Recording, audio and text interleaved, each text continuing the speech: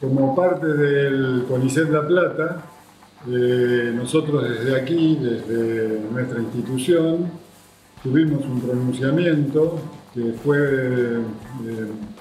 convalidado por unanimidad por los, nueve, por los 29 centros e institutos que tienen una dependencia fundamentalmente con este, nuestra universidad, nuestra querida Universidad Nacional de La Plata, y muchos de ellos con la Comisión de Investigaciones Científicas de la provincia de Buenos Aires,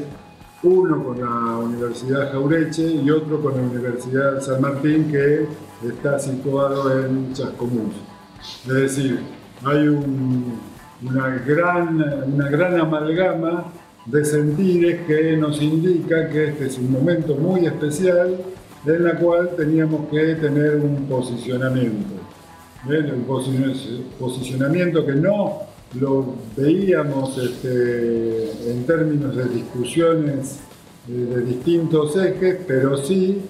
en términos de lo que significa para nosotros y lo que tenemos entendido para nosotros, que significa, por ejemplo, terminar con la ciencia en Argentina, terminar con las universidades públicas, desoír o desatender no entender lo que significa el cambio climático para el futuro de las generaciones.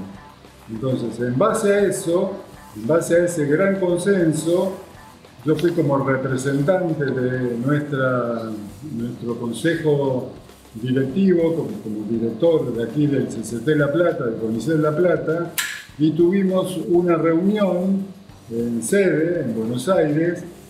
con todos los 16 centros científicos, tecnológicos que están extendidos a lo largo y lo ancho de la República Argentina.